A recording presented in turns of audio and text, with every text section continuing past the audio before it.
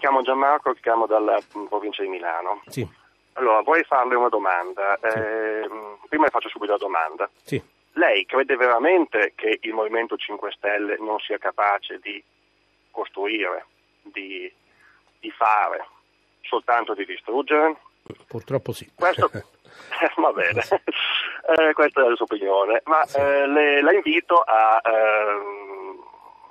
C'è un programma, il Movimento 5 Stelle, lei può leggerlo eh, per esempio Parma, eh, stanno dimostrando di non essere solo distruttivi, ma di essere anche propositivi. Dio. Innanzitutto la totale inesperienza del ceto politico, la mancata dire, selezione su altre basi. Non si può, sulla base diciamo, di una selezione che somigliava a quella di X Factor, eh, riuscire a portare una classe dirigente nel nostro paese. Non si può pensare che ragazzi che fino a ieri eh, erano eh, eh, diciamo, agli studi, poi abbiamo visto che alcuni non, erano, non avevano nemmeno i titoli di studio annunciati,